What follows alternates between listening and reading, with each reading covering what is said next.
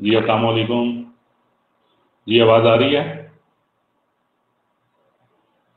अच्छा चलें ग्रेट तैयारी कैसी जा रही है? मैं वो पूछ रहा था कि how you feel about your preparation for the exams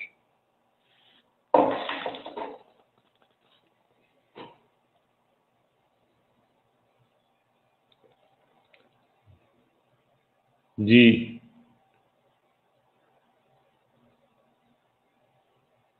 ji Ali Alisha Fiza, Hamdan, Nimra Sadaf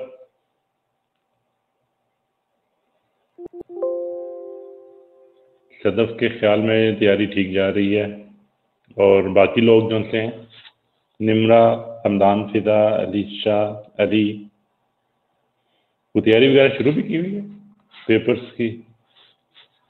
micro economics हमारा बिल्कुल कंप्लीट हो चुका हुआ है। अच्छी जा रही है, अली का ख्याल है, फिजा का ख्याल है, अच्छी जा रही है सर। हमदान का ख्याल है, ठीक ही जा रही है। और निमरा स्टार्ट कर दी है, चलें निमरा ने भी स्टार्ट कर दी है। क्योंकि अब हमारे पास टाइम थोड़ा सा, अब शॉर्ट होना शुरू हो गया।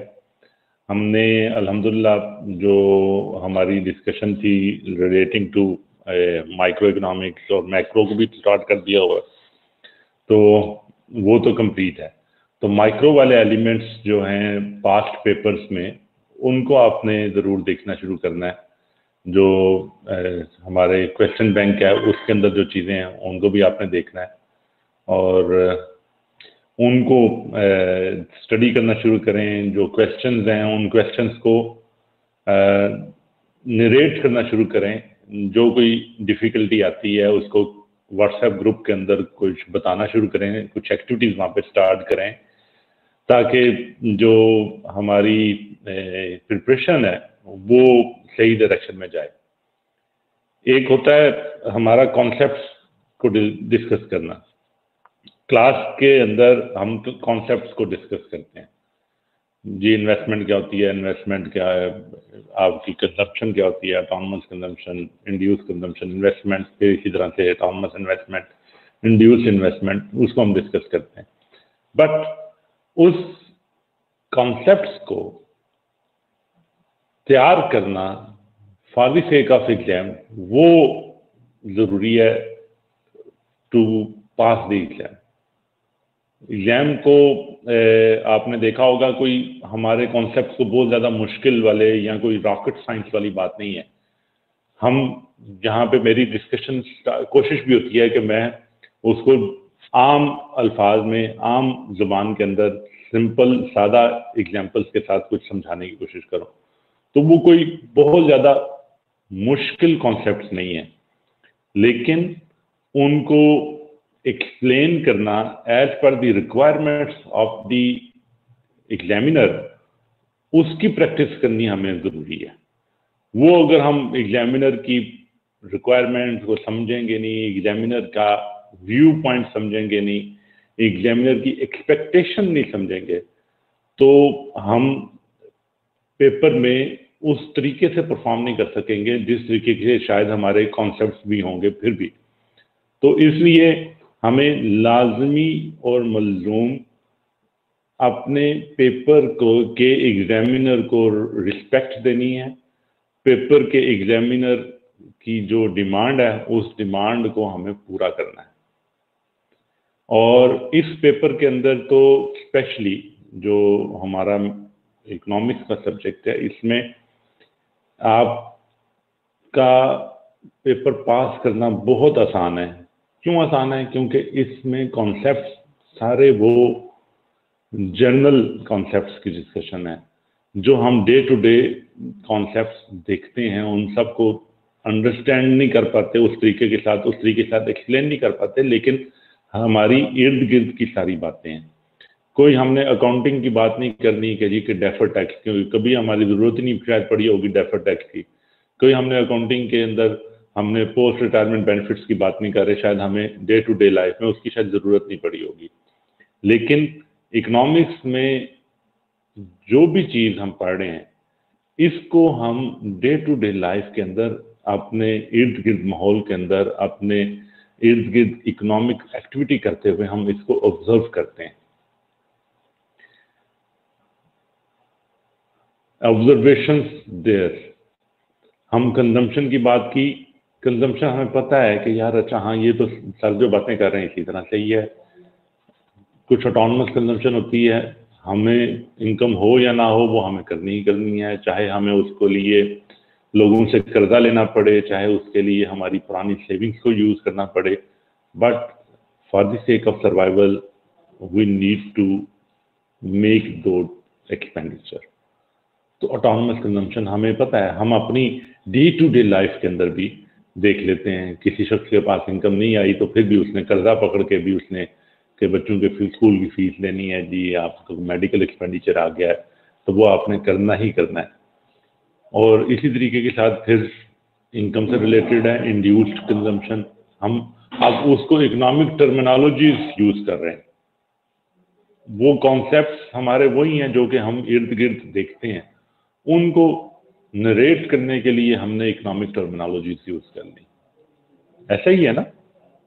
कोई हमारे, हमने कोई आज तक कोई नया कॉन्सेप्ट इकोनॉमिक्स में नहीं पढ़ा होगा।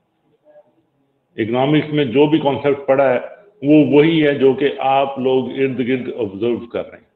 मैं यहाँ पे आके कोई आपको नई बात नहीं सिखा रहा होता।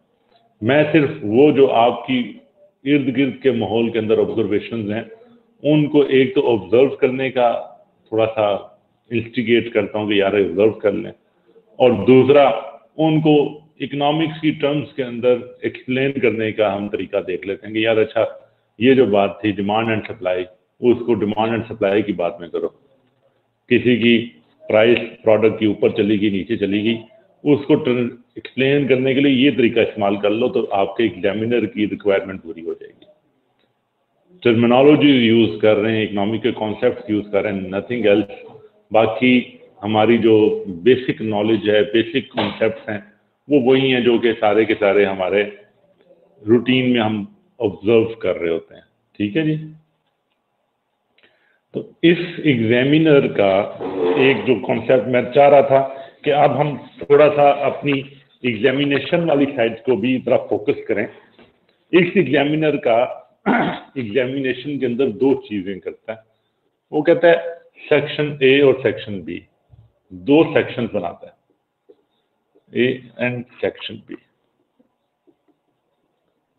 paper को दो हिस्सों में तकसीम करता है section A and section B section A में वो आपसे डिस्कस करता है, आपसे क्वेश्चन पूछता है माइक्रो इकोनॉमिक्स के। माइक्रो इकोनॉमिक्स के कौन जितने भी क्वेश्चन उसने पूछने हैं, वो सेक्शन ए में पूछता है। और दूसरी चीज़ जो सेक्शन ए में पूछता है, वो आपसे एमसीक्यूज एमसीक्यूज के अंदर आपके दोनों माइक्रो और मैक्रो के दोनों के एमसीक्यूज वो सेक्शन ए के अंदर ही पूछता है।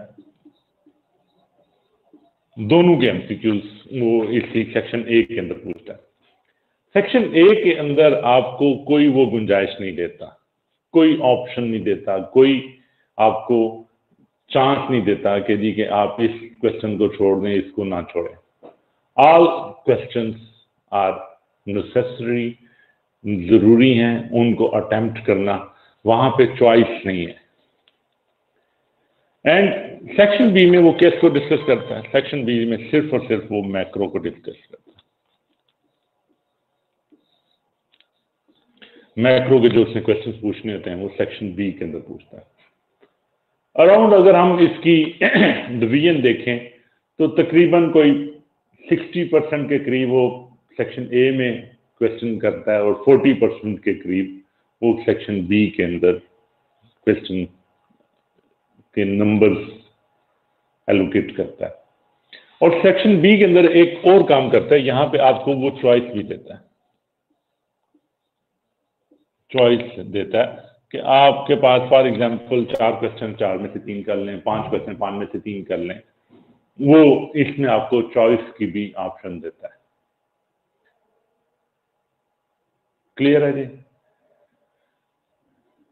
इसी वजह से सेक्शन बी के अंदर जब हम मैक्रो पढ़ते हैं तो हमारे पास कॉन्सेप्ट भी हमने बिल्ड करना है। और कॉन्सेप्ट क्यों बिल्ड करना है? क्योंकि एमसीक्यूज के अंदर वो हमें लाजमी पूछेगा मैक्रो के। और हमारे पास थोड़ा सा एक ऑप्शन देता है चॉइस की कि जनाब you can evaluate yourself के which question you are going to attempt students इसमें एक काम करते हैं कि जी के चॉइस के ऊपर कुछ चीज़ें छोड़ देते हैं कुछ चैप्टर्स को देखते नहीं है। फॉर एग्जांपल कहेंगे जी कि हम ए, अपनी जो बैलेंस ऑफ़ पेमेंट है उसकी डिस्कशन लेकिन सर बैलेंस ऑफ़ पेमेंट अगर आपने छोड़ दिया ना तो क्या होगा? यहाँ पे भी तो माइक्रो इसमें तो लाजमी आपको कहीं ना कहीं अटेम्प्ट करना पड़ेगा ना। तो छोड़ने का नुकसान बहरहाल आपको उठाना पड़ेगा। आप चॉइस कर सकते हैं चॉइस की बेस के ऊपर सिलेक्टिव स्टडी कर सकते हैं but this selective study will definitely going to hurt you आप के पास यहाँ पे तो ऑप्शन मौजूद देता है, लेकिन यहाँ पे नहीं देता। यहाँ पे जो उसने क्वेश्चन पूछा, जो आपको एमसीक्यू पूछा, वो आपने एमसीक्यू रिप्लाई करना ही करना है। वो नंबर आपके, दो नंबर का एक एमसीक्यू होता है। वो यहाँ एक नंबर का, वो एक नंबर का एक एमसीक्यू होता है, बीस के करीब एमसीक्यूज पूछता है वो, पेपर में। तो वो एमसीक्यू बीस में से अगर एक या दो या तीन इसमें से चले गए तो आपके नंबर वहाँ से जा सकते तो इसलिए we need to be careful while choosing to selective study careful होने की ज़रूरत है बेहतर ये है कि हम सिलेक्टिव स्टडी की बात ना करें कंसंट्रेट करें ऑल दी टॉपिक्स और उनके कॉन्सेप्ट कम अज कम ज़रूर बिल्ड कर लें। हाँ हम फोकस कर सकते हैं कि किसी एरिया के ऊपर हम ज़्यादा फोकस कर लें, किसी पे कम कर लें। जैसे अभी चैप्टर 11 आएगा, हमारा मैक्रो के अंदर चैप्टर 11 आएगा मनी के हवाले से बात होगी। उसके अंदर इन्फ्लेशन और अनएम्प्लॉयमेंट की बात होगी। इंपॉर्टेंट वेरी इंपॉर्टेंट इस तरह से हमने जो कंजम्पशन पढ़ी है कंजम्पशन के टॉपिक्स पढ़े हैं इंपॉर्टेंट टॉपिक्स लाजमी चैप्टर 11 में से तो लाजमी वो क्वेश्चन ज़रूर पूछता है। इन्फ्लेशन को मनी को अनएम्प्लॉयमेंट को, वो ऑलमोस्ट ऑलमोस्ट ऑलमोस्ट हर अटेम्प्ट में वो ज़रूर ब ज़रूर चेक करता है, ज़रूर टेस्ट करता है।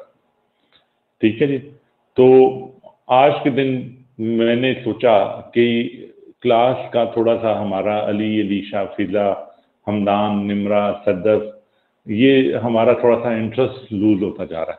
तो हम क्लास में इंटरेस्ट को बरकरार रखें।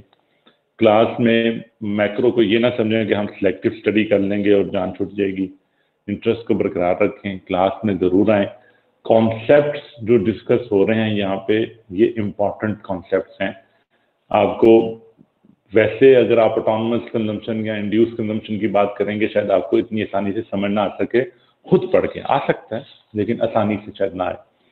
और जो आपको इस लेवल पे टीचिंग की हेल्प अवेलेबल होती है, वो सिर्फ़ इसी पर्पज के लिए होती है, ताकि आपका एक तो टाइम बचत हो जाए। दूसरा, आप जब किताब से पढ़ते हैं तो आपकी अपनी इंटरप्रिटेशन होती है। वो दुरुस्त हो सकती है, गलत, सही हो सकती है या गलत हो सकती है। लेकिन जो एग्जामिनर के साथ पढ़ पढ़ के और पिछले कुछ तीन चार पाँच छः अटैम्प्ट से पढ़ा पढ़ा के जो एक टीचर की इंटरप्रिटेशन बन जाती है वो आपके ज़्यादा क्लैरिटी दे देगी और करेक्ट होगी। सो so, इसलिए keep your interest in the classes classes को छोड़िएगा मत। क्लासेस को अटेम्प्ट पढ़िएगा ज़रूर क्लासेस को में आइएगा ज़रूर, ताकि आपके कॉन्सेप्ट जो भी बन सकते हैं वो ज़रूर बने और उसमें करेक्ट कॉन्सेप्ट बने, गलत कॉन्सेप्ट हम ना बना लें। ठीक है जी? ये मेरा आज के दिन की हम्बल सबमिशन थी। और इसमें जो चीज़ इम्पोर्टेंट है, जो हम एक एलिमेंट को अभी हम इतनी डिस्कस नहीं कर रहे एमसीक्यूज एमसीक्यूज आर इम्पोर्टेंट और इम्पोर्टेंट क्यों हैं? कि आप अगर देखेंगे एग्जामिनर के पास मैं इकोनॉमिक्स के एग्जामिनर की ना बेबसी पे थोड़ा सा कहता हूँ कि वो बेबस है। बेबस इस सेंस में है कि इकोनॉमिक्स के एग्जामिनर के पास कुछ बहुत ज़्यादा डिफरेंट क्वेश्चंस पुट करने की ऑप्शन ही नहीं है। वही जो क्वेश्चंस हैं, जो क्वेश्चंस पिछले दस अटेम्प्ट या पंद्रह बीस अटेम्प्ट में आप देखेंगे, उन्हीं क्वेश्चंस को कहीं ना कहीं वो thirty forty percent fifty percent के करीब रिपीट हो ही जाते हैं हर अटेम्प्ट के अंदर। वो आपको रेपिटेशन कॉन्सेप्ट्स की वो रेपिटेशन मिलती है। उसके पास कोई गिना चुने कॉन्सेप्ट हैं, उन्हीं में से उसने पूछना है इंपॉर्टेंट कॉन्सेप्ट हैं। वो बेचारे के पास शायद ज़्यादा ऑप्शन नहीं है। अकाउंटिंग के कॉन्सेप्ट वो दो, चार छः आठ, दस मिला के कहीं पे एक क्वेश्चन में पूछ सक, पूछ सकता है। लेकिन यहाँ पे एग्जामिनर के पास कुछ बहुत ज़्यादा वेरिएशन करने की ऑप्शन ही नहीं है। तो इस लिहाज से हमें इकोनॉमिक्स में थोड़ा सा एडवांटेज हासिल है।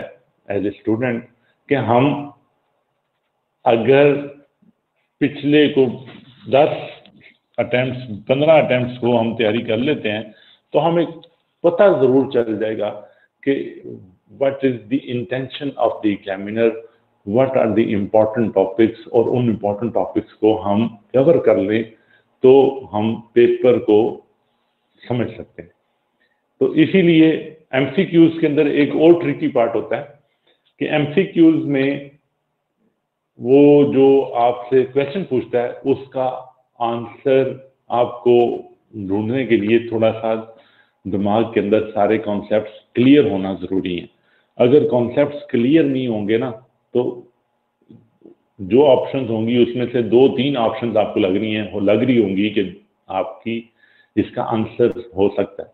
लेकिन वो जब कॉन्सेप्ट आपके क्लियर होंगे तो फिर आपको, इसलिए इसकी प्रैक्टिस ज़रूरी है एमसीक्यूज की प्रैक्टिस ज़रूरी है अपने कॉन्सेप्ट को रिवाइज करने के लिए, अपने कॉन्सेप्ट को दुरुस्त रखने के लिए इसकी प्रैक्टिस ज़रूरी है।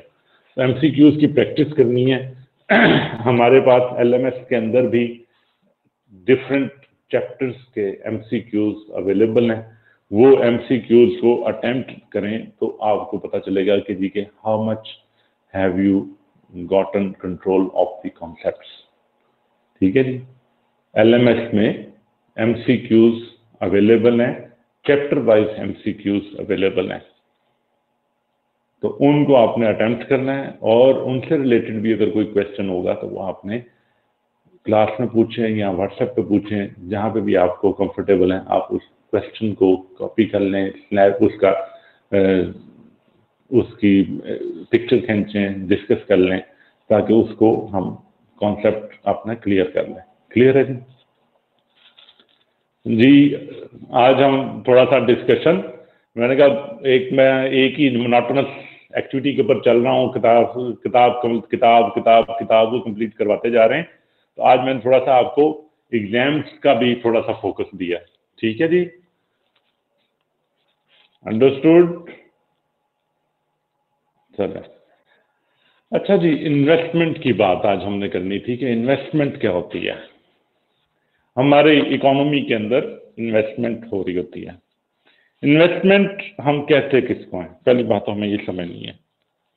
इन्वेस्टमेंट हम कहते हैं expenditure on capital goods investment is what investment is the expenditure on capital good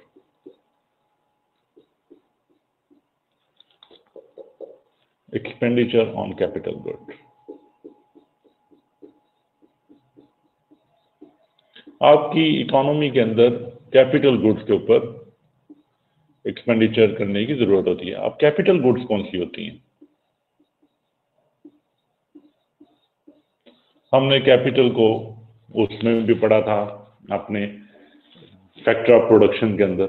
तो कैपिटल गुड्स हम उन गुड्स को कहते हैं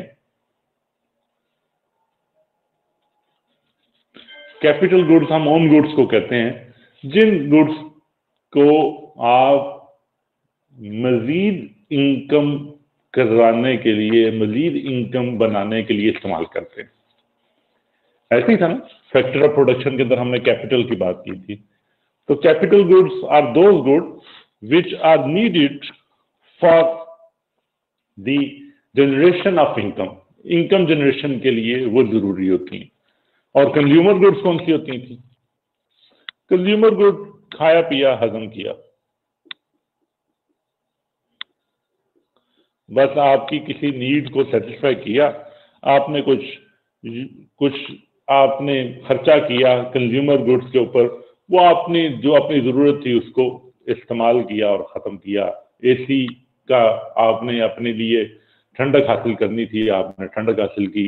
आपने खाना खाना था, खाया और ख़त्म किया, खाया पिया, हजम किया। उससे आप आगे इनकम जनरेट नहीं कर रहे, कोई उससे आगे मजीद एक्टिविटी नहीं परफॉर्म कर रहे।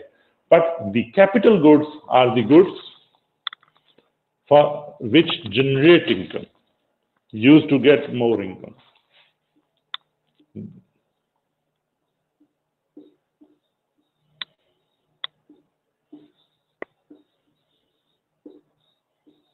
मजीद पहले जो इनकम है तो है, हम मजीद इनकम हासिल करना चाहते हैं तो उसको तो इन्वेस्टमेंट किसी भी इकोनॉमी के अंदर इन्वेस्टमेंट इस लिहाज से हमें पता चला कि इम्पोर्टेंट चीज़ है कि आप अपनी कुछ ना कुछ स्पेंडिंग कैपिटल गुड्स के अंदर कीजिए।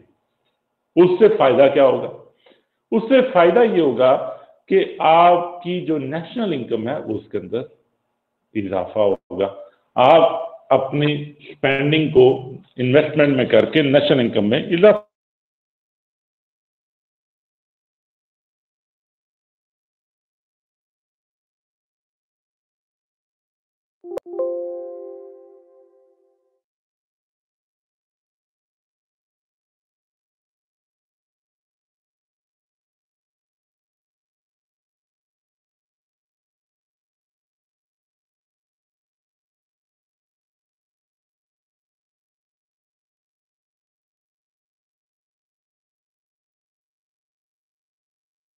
जी, आवाज़ आ रही है? जी अच्छा इन्वेस्टमेंट को हमने कहा कि जी के autonomous investment autonomous and induced autonomous कौन सी है? वही मामला जो हमने उसके साथ किया था कि इरिस्पेक्टिव ऑफ़ इनकम इनकम हो या ना हो, हमें वो इन्वेस्टमेंट करनी ही करनी है। विदाउट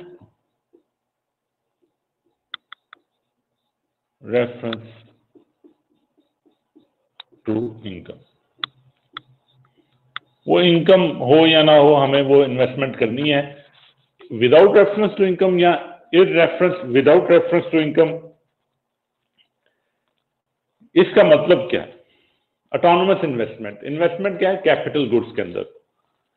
मोस्ट मस्ट होती है। अब एग्ज़ाम्पल इसकी क्या हो सकती है? आपको अपनी रोड्स के ऊपर इन्वेस्टमेंट करनी पड़ेगी। आपकी रोड्स खराब हो रही हैं। कैपिटल गुड्स हैं रोड्स वो कंज्यूमशन नहीं हो रही। वो आप मजीद इनकम करने के लिए। लेकिन रोड जो खराब हो रही है, उसको रिपेयर करना पड़ेगा। आपकी कोई मशीन थी, वो खराब हो रही थी, उसको रिपेयर करना पड़ेगा। मशीन थी, पिछली मशीन डेप्रिशिएट होगी कंप्लीट की कंप्लीट आपको नई मशीन उसके अंदर इंस्टॉल करनी पड़ेगी। वो क्या कर रहे हैं? आप इनकम बढ़ाने के लिए नहीं कर रहे, अपनी इनकम को मेंटेन रखने के लिए आपको ऑटोनमस इन्वेस्टमेंट करनी पड़ रही है। और इंड्यूस इन्वेस्टमेंट क्या है? कि इनकम बढ़ती जाएगी और इन्वेस्टमेंट बढ़ती जाएगी।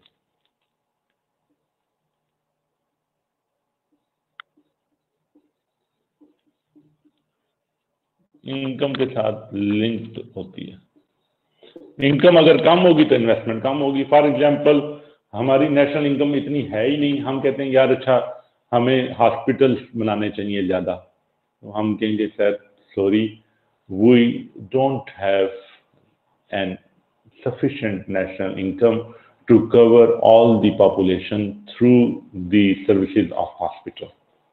तो हमारी नेशनल इनकम में कमी है, इसलिए हम कैपिटल इन्वेस्टमेंट नहीं कर पाएँगे, क्योंकि नेशनल इनकम कम है।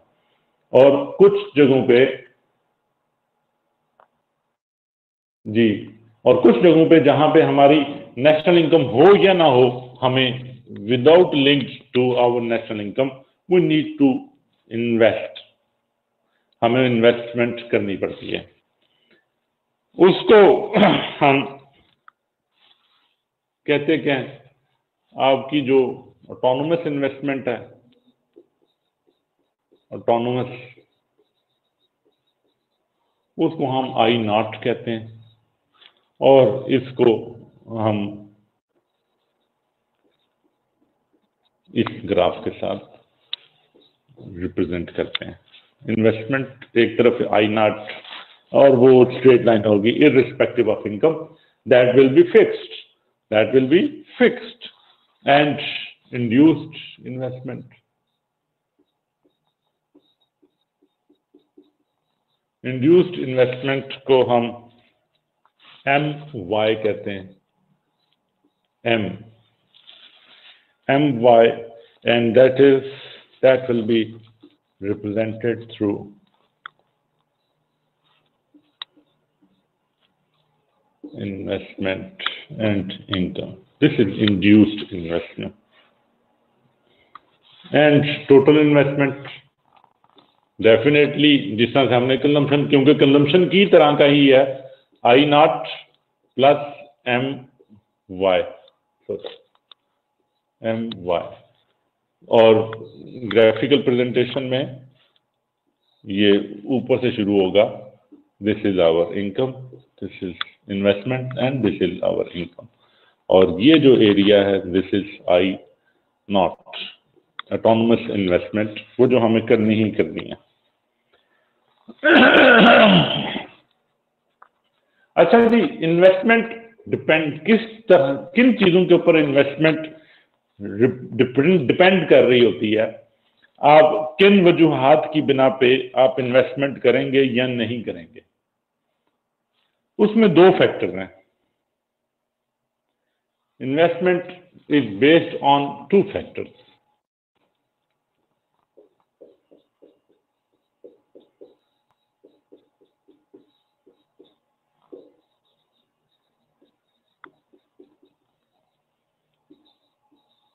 दो वजूहत की बिना पे होती हैं जी, अलीशा का ख्याल है कि इंड्यूस का ग्राफ हमें ज़ीरो से स्टार्ट करना है नहीं जी इंड्यूस का हाँ जी ज़ीरो से स्टार्ट होगा क्योंकि ये ज़ीरो पे ज़ीरो इन्वेस्टमेंट होगी इनकम के ऊपर और फिर उससे आगे चलती जाएगी। इंड्यूस्ड और जो हमारी कंप्लीट इन्वेस्टमेंट जिसको हम I naught plus M Y कह रहे हैं, वो ज़ीरो से ऊपर स्टार्ट होगा क्योंकि इसमें ऑटोनोमस इन्वेस्टमेंट का एलिमेंट हमने अलग ले लिया। अच्छा जी इन्वेस्टमेंट जब भी नेशनल लेवल पे हम इन्वेस्टमेंट की बात करेंगे तो नेशनल लेवल पे इन्वेस्टमेंट करने के लिए हमें दो चीज़ों को देखना पड़ेगा। एक हम कहते हैं M E C one is called M E C M E C क्या जी? Marginal efficiency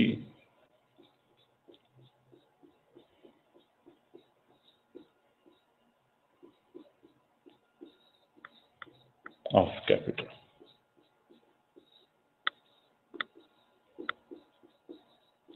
MEC and other is interest rate.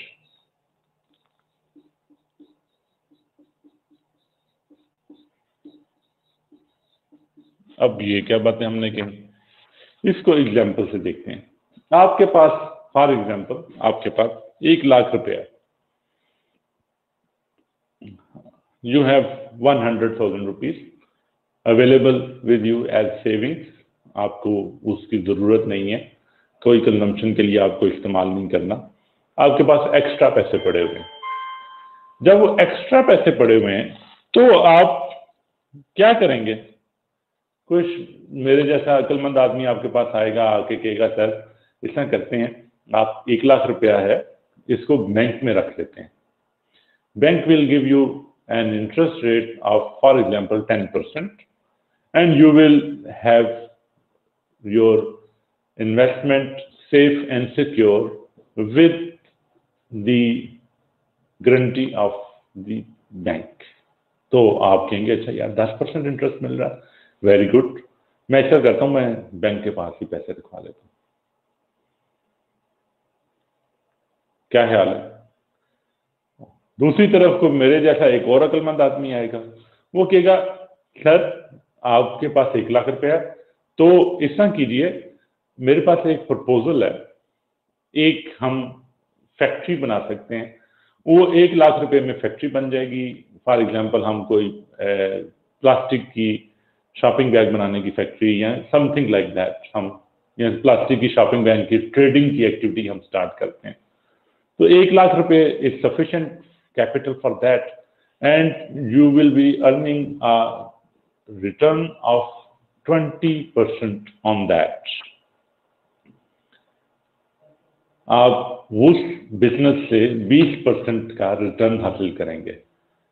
तो अब हमारे पास हम किस चीज़ को कंपेयर कर रहे हैं? एक तरफ़ हम कंपेयर कर रहे हैं कि बैंक में पैसे रखवा दें और उससे हम इंटरेस्ट ले लें। दस परसेंट फॉर एग्ज़ाम्पल हमें इंटरेस्ट मिलता। और दूसरी तरफ़ हम कंपेयर कर रहे हैं कि कोई एक प्रोजेक्ट है, उस प्रोजेक्ट में हम इन्वेस्ट करते हैं और उस इन्वेस्टमेंट से सर्टन लेवल ऑफ़ रिटर्न हमें मिलेगा। उस रिटर्न के लेवल को हम कंपेयर कर रहे हैं। अब जो रिटर्न मिल रहा है इन्वेस्टमेंट के ऊपर, उसको हम एमपीसी कहते हैं। जो हमने प्रोजेक्ट के अंदर इन्वेस्ट किया प्रोजेक्ट के अंदर काम किया, उससे हमने कुछ चीज़ें परचेज की परचेज कर सेल की सेल करके हमने उसको प्रॉफिट निकाला तो प्रॉफिट से हमें पता चला कि 20 परसेंट प्रॉफिट आया। तो दैट इज़ आवर ये जो हम प्रोजेक्ट की इवेल्युएशन कर रहे हैं प्रोजेक्ट की हम इन्वेस्टमेंट से जो बेनिफिट्स हासिल कर रहे हैं, उसको हम मार्जिनल एफिशिएंसी ऑफ़ कैपिटल कहते हैं। इकोनॉमिक टर्म्स के अंदर बात वही है है सादा जी गल लेकिन ਜਦੋਂ ਇਕਨੋਮਿਕਸ ਇਕਨੋਮਿਸਟ ਦੇ ਹੱਥ ਚੜਦੀ ਹੈ ਤੇ ਫਿਰ ਉਹ ਕਹਿੰਦੇ ਨੇ ਕਿ ਜਰਾ ਇਹਨੂੰ ਜਰਾ ਟ੍ਰਿਕੀ ਕਰ ਦਈਏ ठीक है है सादा सी बात कि आप जो बिजनेस कर रहे हैं जो आप इन्वेस्टमेंट कर रहे हैं उस इन्वेस्टमेंट से जो आप रिटर्न हासिल कर रहे हैं जो इन्वेस्टमेंट से आप फायदा हासिल कर रहे हैं उस फायदे को हम मार्जिनल एफिशिएंसी ऑफ कैपिटल कहते हैं simple is that and other thing is interest rate interest rate आप की जो इन्वेस्टमेंट है, वो इन्वेस्टमेंट आप बैंक में रखवा सकते हैं। या फॉर एग्जांपल आपको कैपिटल जो आपको चाहिए था इस बिज़नेस के लिए, वो बैंक से कर्जा लेना पड़ सकता है। तो वो बैंक से कर्जा ले, कर्जा अगर 20 परसेंट पे मिले और आपको मार्जिनल एफिशिएंसी ऑफ़ कैपिटल भी 20 परसेंट हो तो फिर तो आपको कोई फ़ायदा नहीं होगा। ऐसा ही है ना? तो we are comparing we are compelled to compare these two ratios these two figures with each other either we can invest and get the interest from the bank or if we can make a twist on it and इस, इसी को दूसरे angle से देखें कि bank से अगर हमें इस प्रोजेक्ट के लिए लोन लेना पड़ता तो हमें उसके ऊपर इंटरेस्ट देना पड़ता। वो जो इंटरेस्ट देना था, वो इंटरेस्ट हमारी कॉस्ट ऑफ़ कैपिटल वो इंटरेस्ट हमारे मार्जिन एफिशिएंसी ऑफ़ कैपिटल से कम होना चाहिए तो फिर हम इस इन्वेस्टमेंट के लिए तैयार होते। अगर हम उस प्रोजेक्ट के लिए जो कर्जा लेते, उसके ऊपर जो इंटरेस्ट देना पड़ता, वो अगर हमारी मार्जिन एफिशिएंसी ऑफ़ कैपिटल से ज़्यादा होता तो फिर हम इस इन्वेस्टमेंट के लिए तैयार ना होते। तो इंटरेस्ट को देखने के लिए हमारे पास दो डिफरेंट आईने हैं। एक हम इस आईने, इस एंगल से देख रहे हैं कि जी कि हम पैसे जाके बैंक के पास रखवा दें और बैंक से उसके ऊपर सूद हासिल कर लें। और वो जो सूद है, अगर हमारे मार्जिनल एफिशिएंसी ऑफ़ कैपिटल से ज़्यादा है तो बैंक हमें अच्छा लगेगा। और अगर वो सूद हमारे मार्जिन एफिशिएंसी ऑफ़ कैपिटल से कम है तो फिर हमें प्रोजेक्ट अच्छा लगेगा। हम कहेंगे कि हम प्रोजेक्ट के ऊपर इन्वेस्टमेंट कर देंगे। ठीक है जी? These are two basic concept relating to the concept relating to the investment margin efficiency of capital को हम एक्सपेक्टेड रिटर्न भी कहते हैं। This is called expected return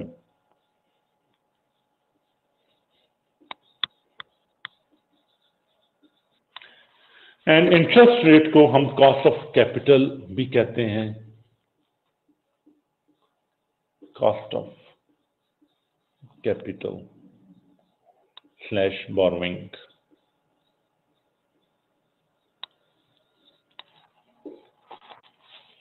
हम इसको एक्सपेक्टेड रिटर्न भी कहते हैं मार्जिन एफिशिएंसी ऑफ़ कैपिटल को, और इंटरेस्ट रेट को कॉस्ट ऑफ़ कैपिटल भी कहते हैं बोरोइंग भी कहते हैं।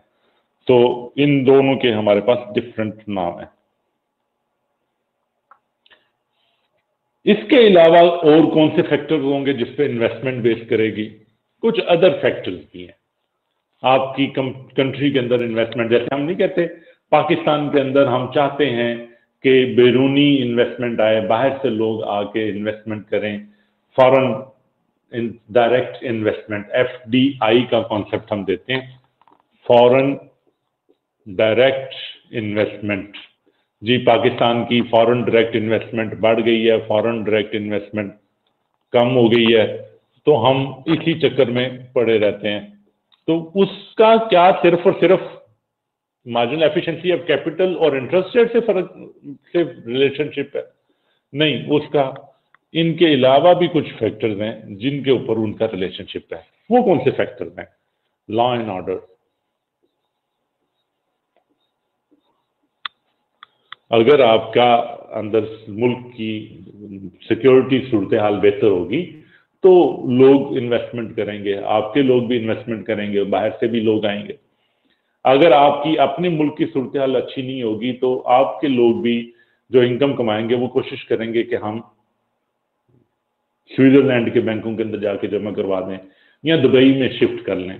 तो वो law and order is an important factor for generating investment in your economy अगर लॉ एंड ऑर्डर दुरुस्त नहीं है तो इन्वेस्टमेंट नहीं हो सकेगी।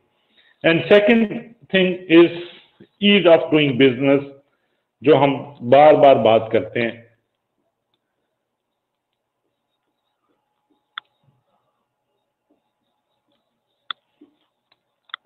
आपका जी, हम ईज ऑफ़ डूइंग बिज़नेस के स्केल के अंदर, फलानी जगह पे चले गए, फलाने में। हमारे पाकिस्तान के अंदर, जो भी बिजनेसमैन बिज़नेस करता है, उसको 47 47 डिफरेंट टैक्सेस और डिपार्टमेंट्स को फेस करना पड़ता है।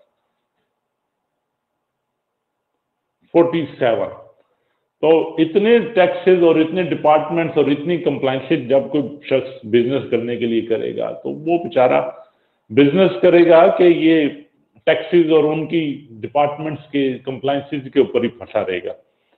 तो इस वजह से भी लोग भाग जाते हैं, वो इन्वेस्टमेंट नहीं करेंगे, वो कहेंगे, जी के, यहाँ पे तो काम करना ही बड़ा मुश्किल है। सेकंड थर्ड चीज़ जो इंपॉर्टेंट है, आपकी जो कॉस्ट ऑफ़ प्रोडक्शन है।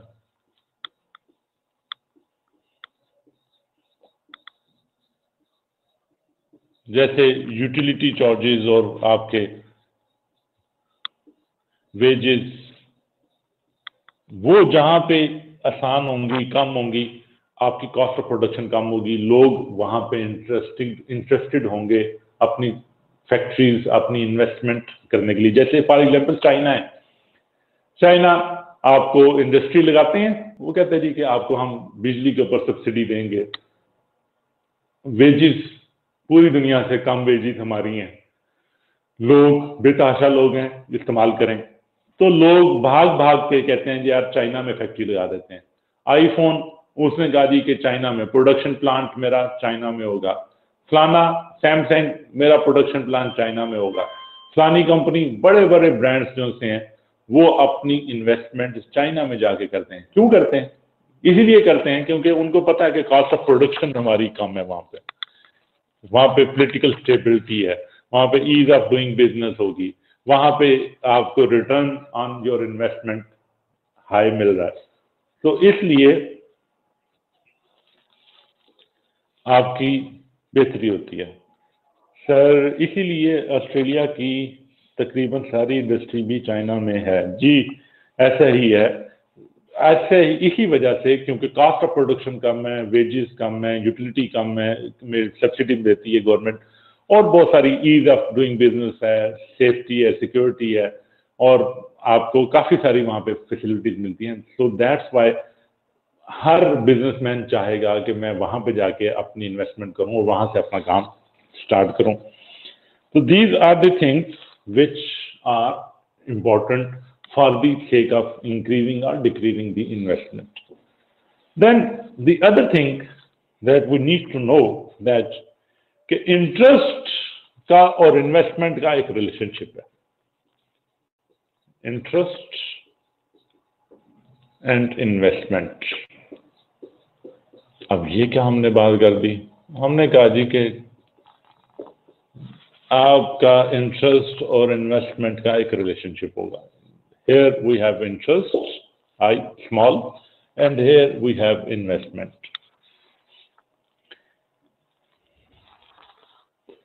This is called MEC, marginal efficiency of capital. जैसे जैसे इंटरेस्ट कम होगा लोग इन्वेस्टमेंट की तरफ़ ज़्यादा होते जाएँगे इंटरेस्ट में कमी लोगों को इन्वेस्टमेंट की तरफ़ मोटिवेट करेगी। और this graph is called this line is called marginal efficiency of capital अब ये हमने क्या बात कही है? अगर इंटरेस्ट बढ़ जाएगा तो क्या होगा? कॉस्ट ऑफ़ बार्विंग बढ़ जाएगी, जो हमने यहाँ पे पढ़ी।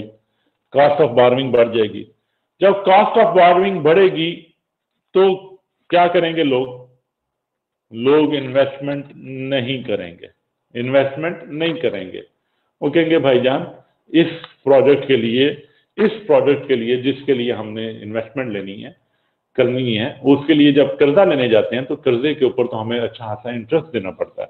तो वो जो इंटरेस्ट हमें हाई इंटरेस्ट देना पड़ता है this high interest will reduce the investment high interest will reduce the investment और जब इसका दूसरा एंगल भी है कि लोग इन्वेस्टमेंट करने की बजाय कहेंगे, यार सेविंग में ही रहने दो पैसे।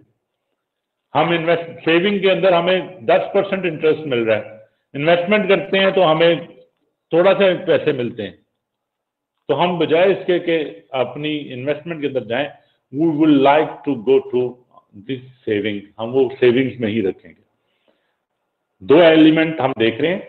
एक cost of borrowing cost of borrowing के ऊपर इन्वेस्टमेंट लो होगी, क्योंकि कॉस्ट ऑफ़ बार्विंग का मुकाबला होना है मार्जिनल एफिशिएंसी ऑफ़ कैपिटल से। तो जिन मार्जिन जो मार्जिनल एफिशिएंसी ऑफ़ कैपिटल जैसे ये वाले मार्जिनल एफिशिएंसी ऑफ़ कैपिटल इतने इंटरेस्ट से नीचे हैं तो इसको तो कोई बंदा नहीं लेगा। वो कहेंगे, यार, इतनी जहाँ पे marginal efficiency of capital interest से ऊपर है वहाँ वहाँ सिर्फ़ इन्वेस्टमेंट करेंगे जहाँ पे margin efficiency of capital interest rate से नीचे है, उसको ऊपर हम इन्वेस्टमेंट नहीं करेंगे। आई समझ? तो कंपैरिजन किसका हो रहा है? इंटरेस्ट रेट और मार्जिन एफिशिएंसी ऑफ़ कैपिटल का। इंटरेस्ट रेट और मार्जिनल एफिशिएंसी ऑफ़ कैपिटल का कंपैरिजन कर रहे हैं और उसी की बेस के ऊपर हमारी इन्वेस्टमेंट कम या ज़्यादा हो रही है। जब इंटरेस्ट रेट कम होता है, ज़्यादा प्रोजेक्ट हमारे फिजिबल हो जाते हैं क्योंकि उनकी marginal efficiency of capital interest rate से ज़्यादा होती है तो हमारी इन्वेस्टमेंट बढ़ जाती है इकोनॉमी की। ठीक हो गया? Let's go to the book और इसको दो मिनट के अंदर इंशाल्लाह कंसोलिडेट करते हैं। इन्वेस्टमेंट एन एसेट आइटम और product that is purchase with hope of generating future income autonomous investment वही autonomous investment induced investment induced investment zero this time. Interest rate and investment interest rate or investment um, for the purpose of our message we will be considering induced investment of the private profit maximizing firm. The interest rate at which firm can borrow is an important factor to consider. A change in interest rate should affect the level of investment in the private sector of the economy. Keynes state that two factors that determine MEC and interest rate. Rate of discount which make the present अच्छा अब M हमने कहा सादा सादा सी बात की थी कि जनाब एक्सपेक्टेड रिटर्न तो यहाँ पे कह रहा है कि रेट ऑफ़ इंटरेस्ट एम को वो डिफाइन कर रहा है रेट ऑफ़ इंटरेस्ट मैथ्स में हमने प्रेजेंट वैल्यू का कॉन्सेप्ट पढ़ा। मैथ्स में सबको प्रेजेंट वैल्यू का कॉन्सेप्ट मौजूद है। तो प्रेजेंट वैल्यू क्या होती है? प्रेजेंट वैल्यू क्या होती है? जो आपकी future year one year two year three इसमें जो वैल्यूज़ आ रही होती हैं, उनको आप डिस्काउंट करते हैं और आप ईयर ज़ीरो के ऊपर आ जाते हैं। इनको डिस्काउंट करते हैं। और एक डिस्काउंट रेट होता है। ऐसा ही है ना। डिस्काउंट रेट क्या होता है? ये भी परसेंटेज ही होती है। जब उसको डिस्काउंट करते हैं प्रेजेंट वैल्यू के ऊपर आते हैं तो आप एक डिस्काउंट रेट आपके पास, वो एक यहाँ पे रेट ऑफ़ इंटरेस्ट उसको कह रहा है, जो डिस्काउंट रेट है मार्जिन एफिशिएंसी ऑफ़ कैपिटल के लिए। आप इसको पढ़ें। Rate of discount which makes the present value of the prospective yield from the capital asset equal to its supply price अब ये देखें। हमें दस रुपए इसमें मिलने थे, दस रुपए इसमें मिलने थे, दस रुपए इसमें मिलने थे। हमने सप्लाई प्राइस की फॉर एग्जांपल ट्वेंटी हमने जो इन्वेस्टमेंट की। तो इन तीनों को अगर ऐसे डिस्काउंट रेट के ऊपर करें, जो इसको 20 के बराबर कर दे तो वो डिस्काउंट रेट हमारा मार्जिनल एफिशिएंसी ऑफ़ कैपिटल कहलाएगा। ठीक है? फिर वही बात का इकोनॉमिस्ट हैं, हम तो हम जरा थोड़ी सी टेक्निकल कर देते हैं, वरना इसको हमने सादा से एक्सपेक्टेड रिटर्न जो हम बात कर रहे थे, वही है। सिर्फ़ उसको हमने कहने के लिए अंदाज हमारा थोड़ा सा अच्छा हो गया। Market rate of interest from household must pay funds in the present जो आज बारोइंग करने के लिए। मार्जिनल एफिशिएंसी ऑफ़ कैपिटल और वही इंटरेस्ट रेट ये इंटरेस्ट रेट ये इन्वेस्टमेंट ये एम और एम अगर किसी वजह से शिफ्ट होती है तो वो यहाँ पे।